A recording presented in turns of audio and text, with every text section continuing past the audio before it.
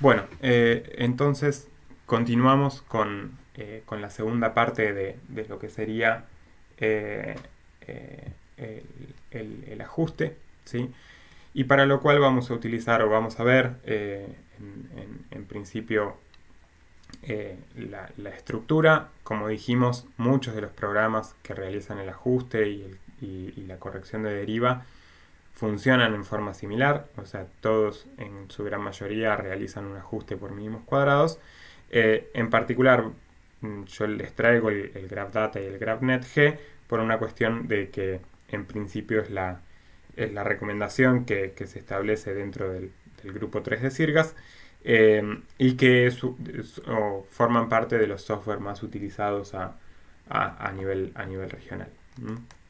Existen otras soluciones existen otras opciones para, eh, para, para, tanto el cálculo de mareas como, eh, como el ajuste de, eh, de, las redes, pero en principio vamos, vamos a ver estos y que cualquier otro software es, es, igualmente válido, ¿no? O sea, tienen bajo ciertos aspectos, uno puede decir, bueno, elijo trabajar con este, con este programa por una cuestión en particular. En el caso de, Argentina, por ejemplo, hemos utilizado el Graph Data para lo que es el tratamiento, para la transformación de las lecturas a unidades de, miligal y el tratamiento de mareas. Em, y para, la cuestión del ajuste hemos utilizado un, eh, eh, software desarrollado por René Forsberg em, que se llama GradAg eh, de, de, Adjustment, em, pero que eh, en líneas generales realiza las mismas tareas que, el GraphNetG. Mm.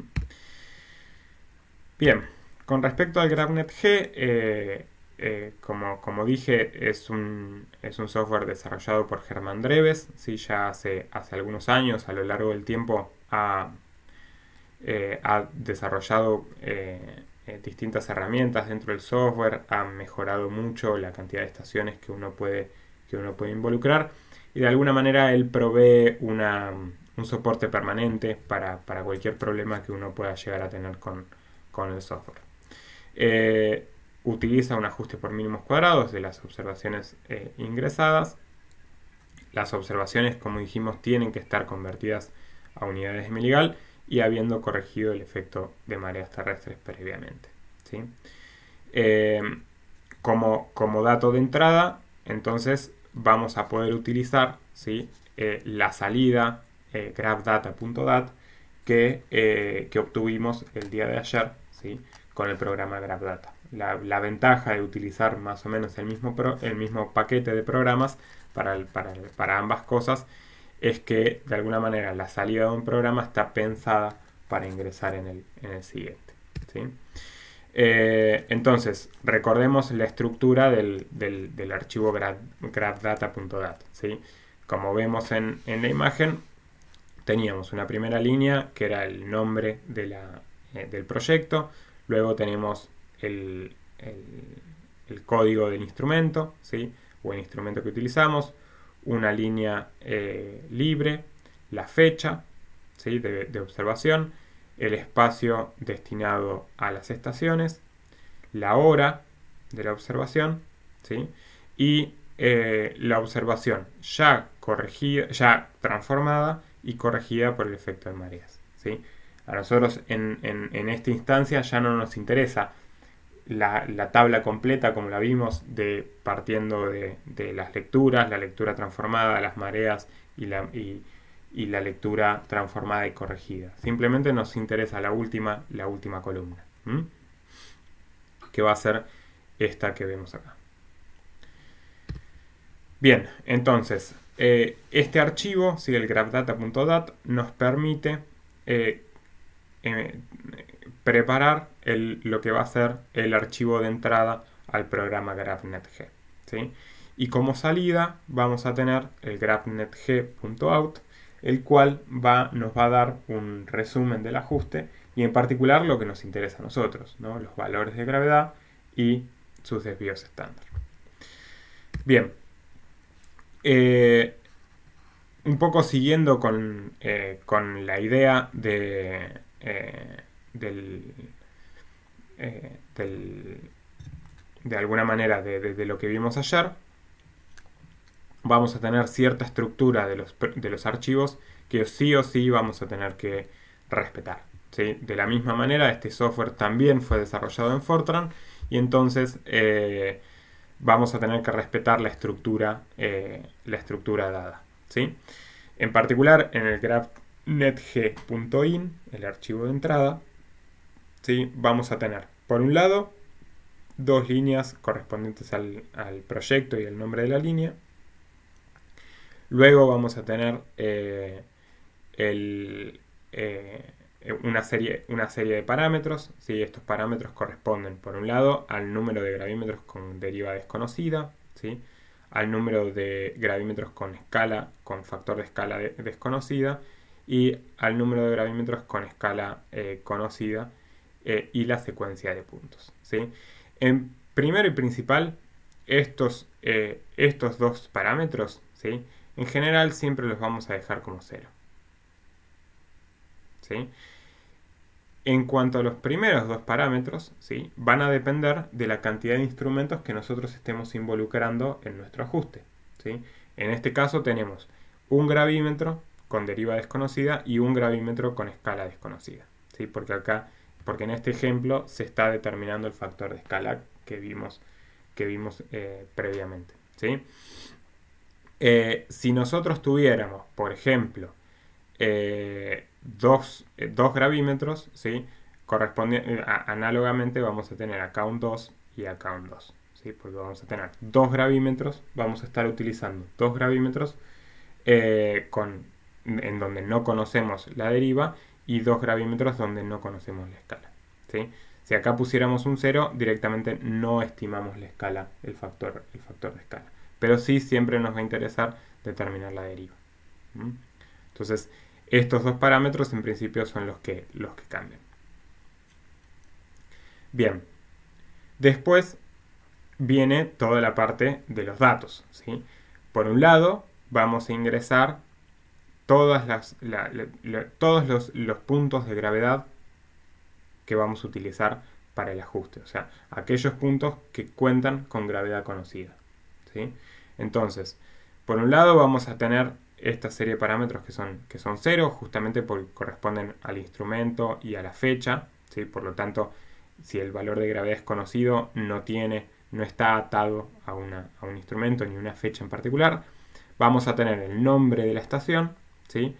la hora consecuentemente va a ser cero, y luego vamos a tener los valores de gravedad. ¿sí? Em, esta última columna ¿sí? corresponde a los pesos ¿sí? que, nos, que, nosotros le damos a las observaciones en, la matriz de pesos dentro del ajuste. ¿sí?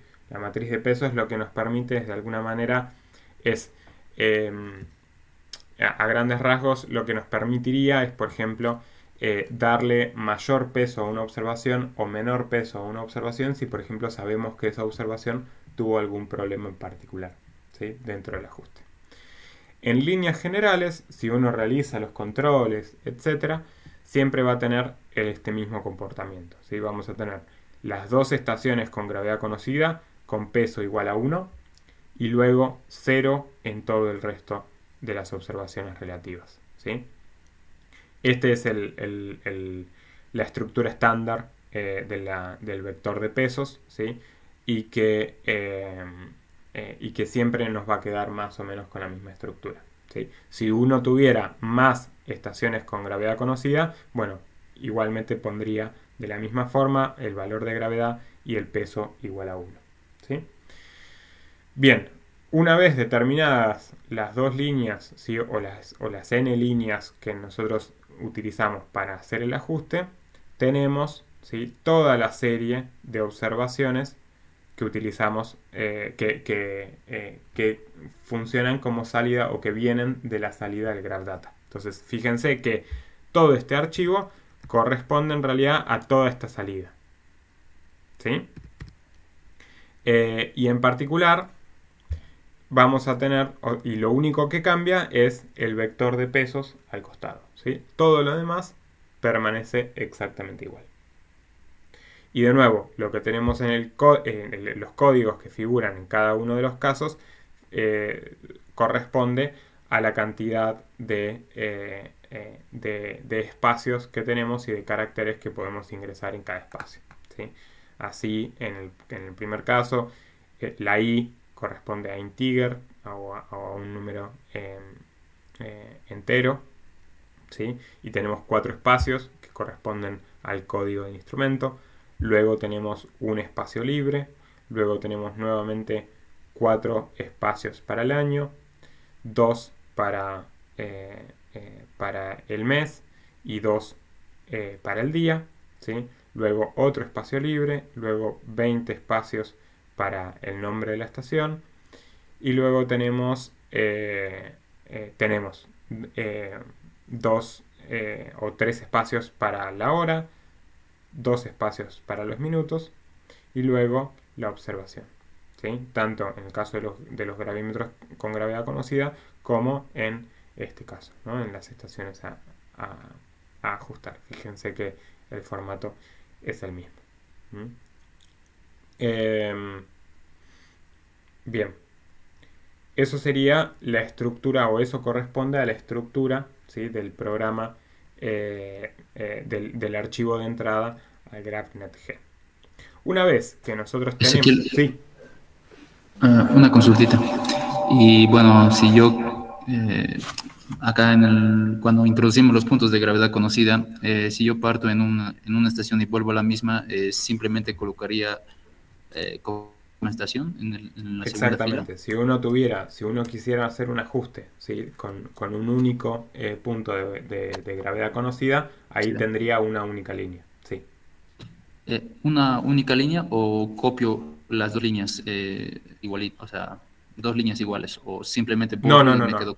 no ahí lo que va son la cantidad de puntos que eh, tienen gravedad conocida o sea tendrías una única línea ahí con un valor de gravedad Ah, si la dejo, si la borro y me quedo con una línea, entonces el software lo va a entender que he partido en la, en la línea y he vuelto a la misma.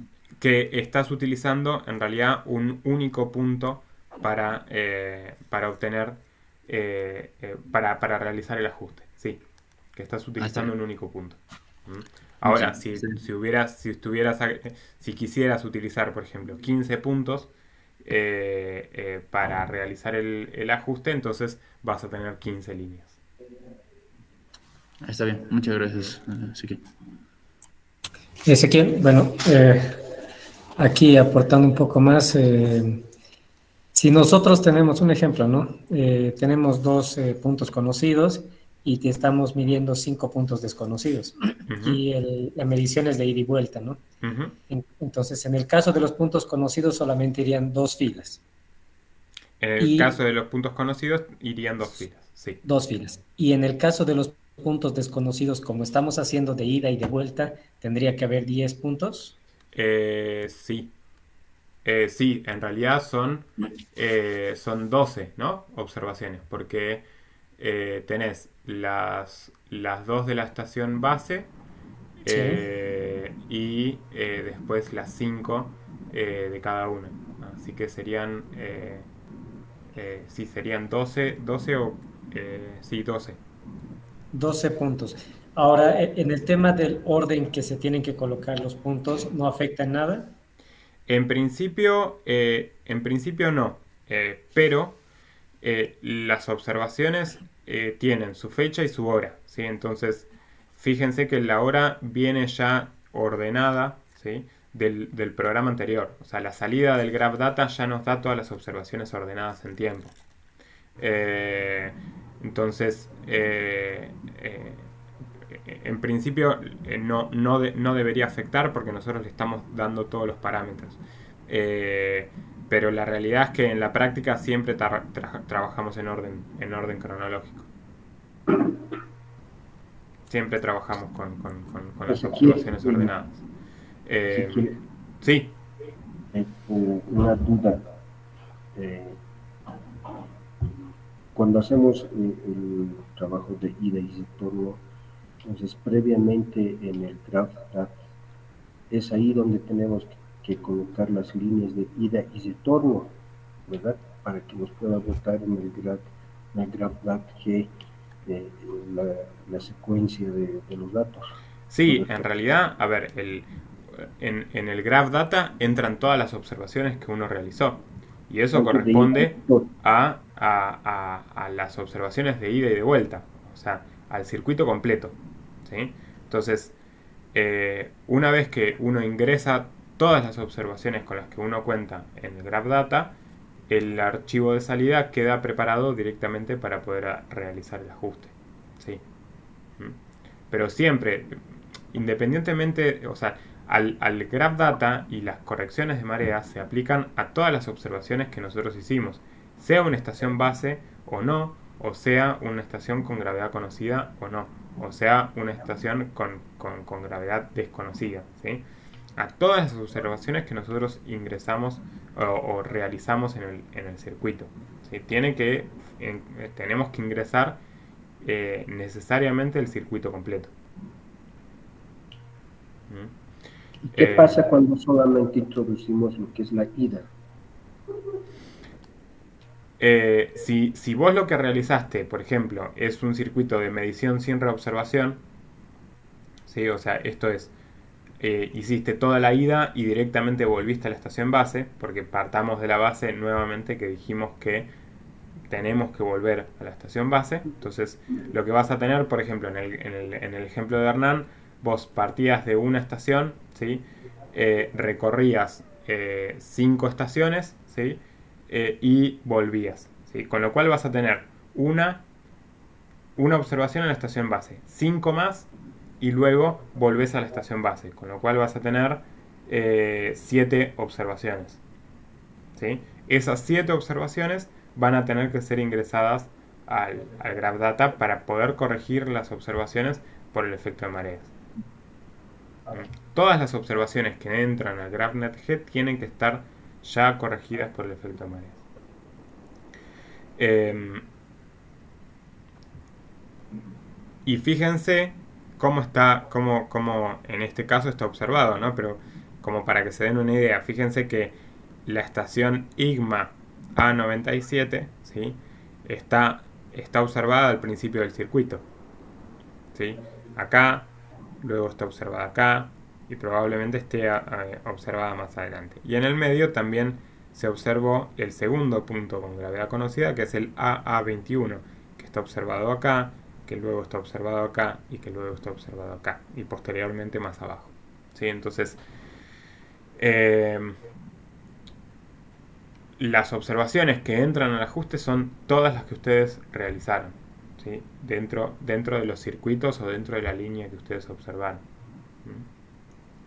Eh, si ustedes, por ejemplo, en el, en el, ejemplo eh, del que si ustedes se ponen a mirar un poco en detalle el ejemplo del, que yo les proveo del Instituto Geográfico Nacional, ahí van a ver que están armados los circuitos y los circuitos están, son de varios días. Entonces, en realidad lo que se hace es partir de un punto conocido, llegar a un último punto observado y al día siguiente se vuelve a conectar desde ahí y se continúa hasta llegar al extremo de la línea, que el extremo de la línea es el que tiene el valor, el otro valor de gravedad conocida.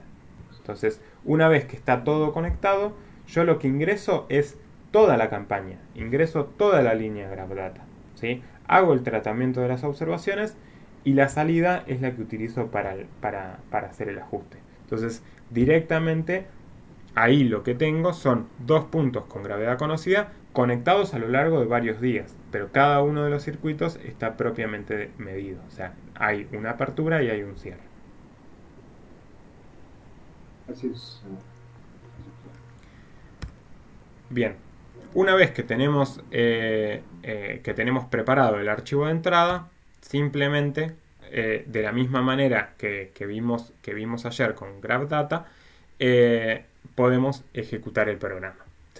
La ejecución del programa es, eh, es muy muy similar al, Graph Data, en donde tenemos que especificar un, eh, un archivo de entrada, ¿sí? un archivo de salida, y luego tenemos que especificarle si a nosotros nos interesa eh, obtener la matriz de, de, de covarianza. ¿sí? Ahora eh, un poco voy a, contar qué es la, matriz de covarianza, pero básicamente fíjense que nosotros generamos el, el graphnet.in, la salida la llamamos graphnet.out, ¿sí? y la matriz de covarianza está asociada a la matriz de errores de todo el sistema, ¿sí?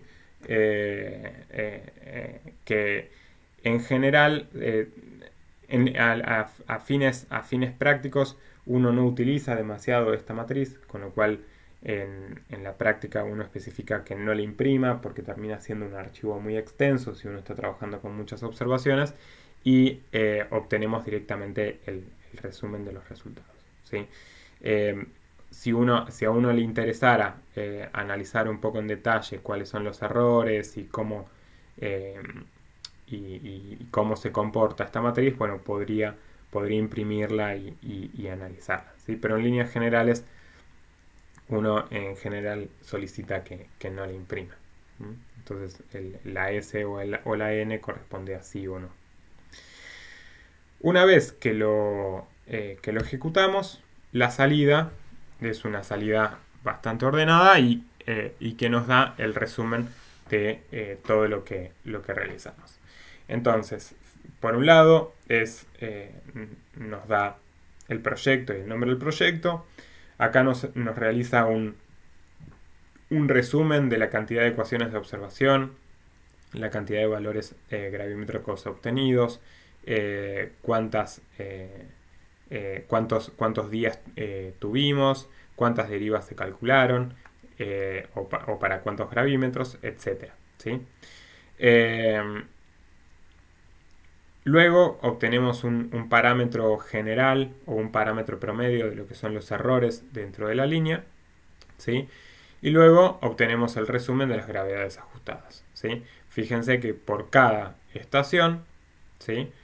tenemos el valor, el valor de gravedad y el desvío estándar. Las primeras dos estaciones que figuran son las estaciones que nosotros utilizamos para realizar el ajuste. Con lo cual el valor de gravedad no, eh, no debiera cambiar. ¿sí? Puede, hay casos en los, que, en los que puede cambiar levemente el valor de gravedad y esto tiene que ver con cómo se realiza el ajuste internamente en el programa. Pero a nosotros lo que nos interesa es de aquí para abajo, ¿no? o sea, del último valor que nosotros le dimos como conocido hacia abajo. ¿sí? Fíjense que tenemos cada una de las estaciones con su respectivo valor de gravedad y con un error asociado, ¿sí? con un desvío estándar asociado. Eh, siempre que pensamos una cantidad geodésica, ya sea gravedad, ya sea coordenadas, siempre nos va a interesar además proveer un error sobre el, valor de gravedad. Eh, luego, eh, luego del, resumen de las, de las, gravedades, lo que viene es un poco el, el, análisis de los residuos del ajuste, ¿sí? Eh, de, la deriva, uno puede, puede controlar este tipo de parámetros con, eh, el análisis de los residuos eh, obtenidos del ajuste. Toda esta línea o toda esta información es la que, la que se encuentra en la segunda parte del archivo. ¿sí? Pero lo más importante o lo que más nos interesa a nosotros es el valor de gravedad y el desvío estándar asociado. Sí es importante destacar que a veces es interesante analizar los residuos porque los residuos básicamente lo que nos, de lo que nos hablan eh, es de cuánto nos da eh, cuánto, cuánto nos da el modelo con respecto a lo que observamos, ¿no? De alguna manera. Entonces, eh, si, el, si el modelo nos da demasiado alejado de lo que observamos, puede que haya algún problema en, algún lado. ¿sí? Y en particular, el modelo se comporta muy bien, porque es el mismo modelo para todos los casos, pero eh, eh, en el caso de las, de las observaciones, puede que nos sirva para detectar algún problema en alguna observación que, nos haya sucedido en el campo.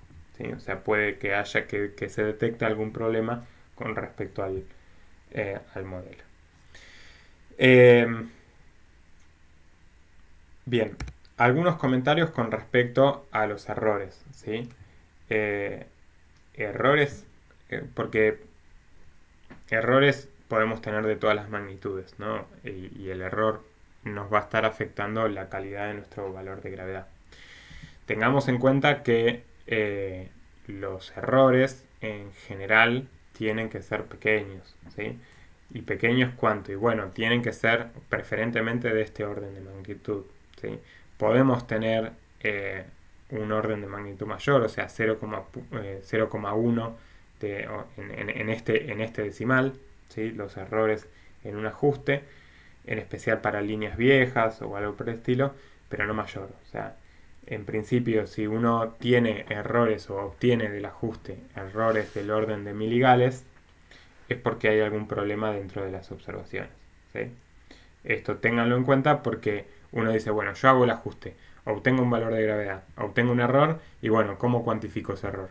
¿Sí? O sea, ¿qué, qué, tan, qué tan fiable es mi, mi valor de gravedad?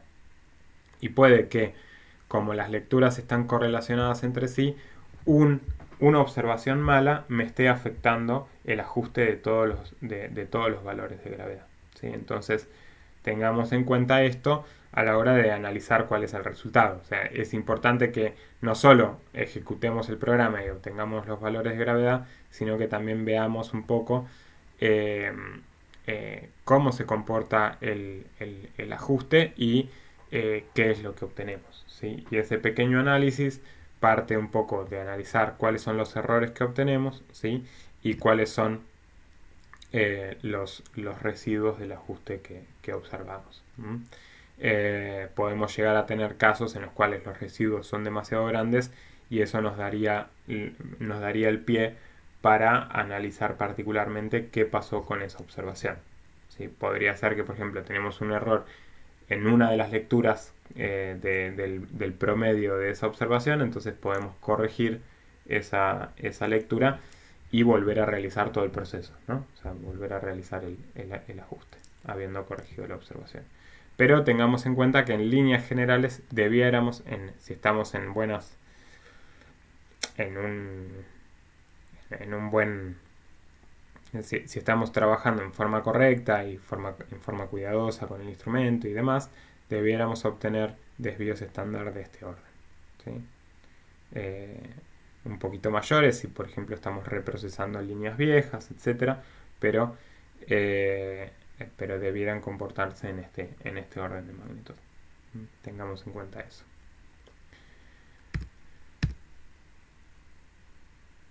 Bien. Con eso sería eh, todo, todo el ajuste, ¿no? O sea, lo que obtenemos básicamente de esto es ya directamente los valores de gravedad. O sea, estamos en condiciones de establecer nuestra red gravimétrica, porque el fin eh, particular que teníamos era de eh, obtener para cada una de nuestras estaciones en la red que diseñamos un valor de gravedad. Eh, con eso más o menos cerraríamos lo que es la obtención de los valores de gravedad. Luego, ¿sí? existen aplicaciones. Digo, si uno empieza a pensar, por ejemplo, en el establecimiento de sistemas verticales, como mencionaba Gabriel el otro día, entonces vamos a utilizar estos valores de gravedad para obtener altura. La red gravimétrica se termina en o se establece a partir de, las coordenadas de la estación, la época de observación, el gravímetro que fue utilizado los valores de gravedad y los errores asociados. ¿sí? Bien, eh, con eso sería, sería todo. No sé si, si, hasta acá hay alguna pregunta y si no, los invito a que, a que eh, sigan trabajando una pregunta. Sí. Eh, lo último que nos mostraba, eso sería como un reporte. Exactamente, esto sería un reporte de, de, de, cómo este, todo, todo, todo este archivo, todo el, todo el, el, graphnet.g.out forma parte de un reporte. ¿sí? El reporte justamente del ajuste. Por un lado, lo que más nos interesa a nosotros son las gravedades ajustadas. Luego, en particular, los residuos del ajuste son un reporte de cómo eh, funcionó internamente el programa, ¿sí? cómo se comportaron las observaciones dentro del, dentro del ajuste. Eh, este reporte es, de alguna manera a veces útil a la hora de detectar posibles problemas. Muchas gracias, doctor. En, esta planilla que nos da el reporte, ¿nos podrías indicar qué significa lo que está junto con asterisco y con una I. Eh, en, en, en, en, este panel, ¿no? Sí. Este panel en realidad eh, básicamente es un pequeño gráfico. O sea, la, idea es que, eh, es que si, eh, si nosotros tenemos los residuos del ajuste ¿sí? escritos acá, ¿sí? esto básicamente lo que hace es graficar, hacer un gráfico esquemático ¿sí? respecto de, de, un, de, un, valor cero ¿sí? Eh, de cada uno de los residuos en cada línea. ¿sí? Entonces en este caso, por ejemplo, nuestro valor cero es este y tenemos un residuo de 0.003. ¿sí? Entonces el, el, asterisco muestra o grafica, intenta graficar este valor. ¿sí? Si en, en esta gráfica, si apareciera una X, ¿sí? en, vez de, en, vez de, en vez de un asterisco, eh, es porque el valor es excesivamente grande. ¿sí? Y eso es, eh, eso es un punto a ir a mirar. Digo, si, si, si encontramos un punto que tiene un, un, residuo excesivamente alto ¿sí? y que va a estar graficado en esta curva con una X, entonces podemos ir a mirar a ver qué pasa con esa observación. Tal vez haya habido algún problema, eh, por ejemplo, en la, en la digitalización de, ese, de esa observación. ¿no? O sea, eh, no, solo, no forma parte solo de un error de observación, sino que muchas veces uno al transcribir las observaciones mezcla, mezcla dos números. A mí me ha pasado infinidad de veces. ¿no? Entonces, eh, eso sucede y bueno, y, y, y, el análisis de los, de los residuos nos permite justamente eso. Pero simplemente el último panel es, es una gráfica. Gracias, Ezequiel. Por favor. Eh, doctor, una consulta más, por favor. Una duda más que todo. Eh, eh, haciendo una comparación con los reportes, por ejemplo, que hacemos en, en postproceso GNSS, uh -huh. el, el, reporte nos muestra diferentes pruebas, si pasó o no pasó, el test de Fisher, sí. el test de Tau, el chi cuadrado, etcétera, etcétera. Nos muestra que ese postproceso ha sido satisfactorio. Uh -huh. eh, en este caso, eh, ¿existe alguna, algo que nos muestre de esa manera que, que todo ha sido satisfactorio, que está pasando alguna prueba o algo así para poder interpretar? Sí, eh, primero y principal tenemos este parámetro. Este parámetro que básicamente es, es, un, es un promedio de los, de los errores, eh, forma parte de un, de, eh, de de un parámetro que nos permite a nosotros analizar cuál es la calidad del ajuste, ¿sí? el, el, M0.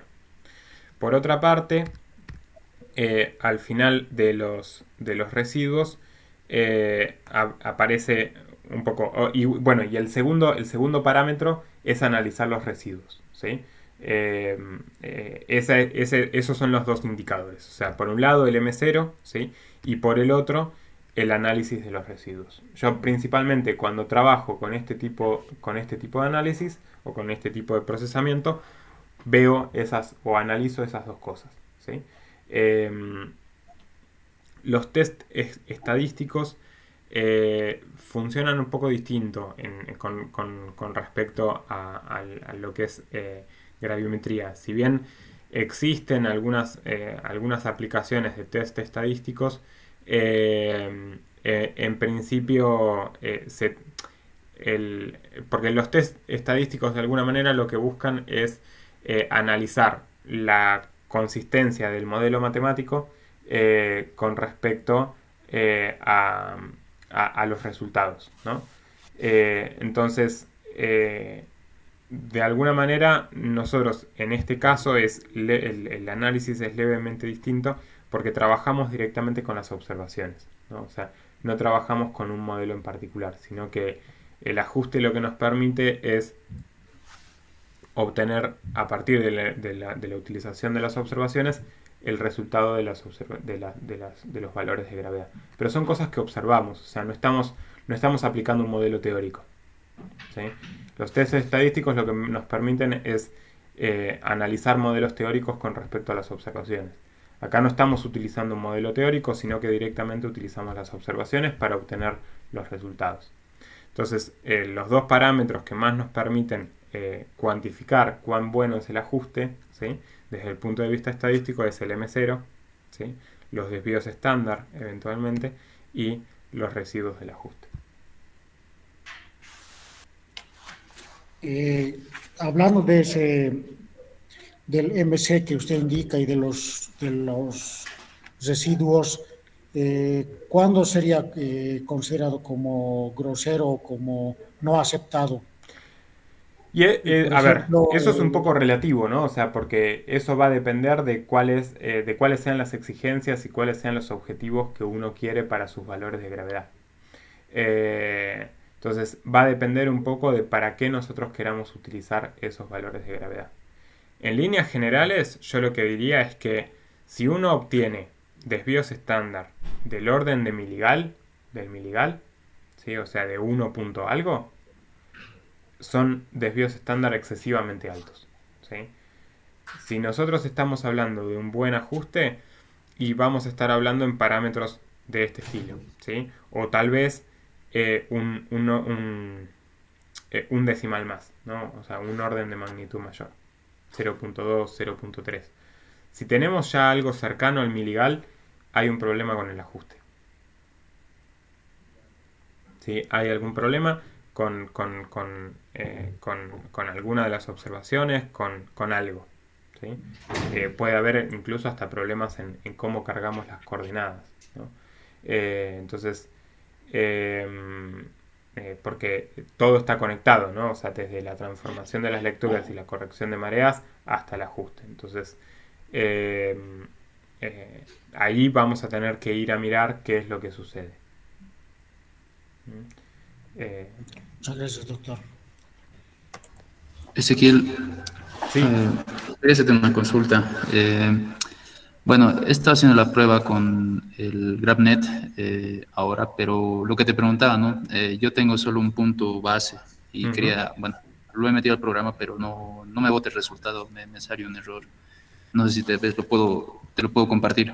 Sí, eh, dame un segundo que entonces vemos rápidamente los ejemplos, ¿sí? O sea, como vimos ayer, probemos dos ejemplos para, para GrabNet G también.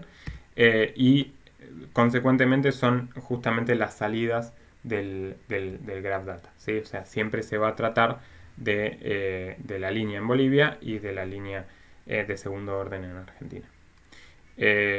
así que bueno, con eso sería todo. ¿Sí? Tienen nuevamente la, la bibliografía. Voy a interrumpir la grabación.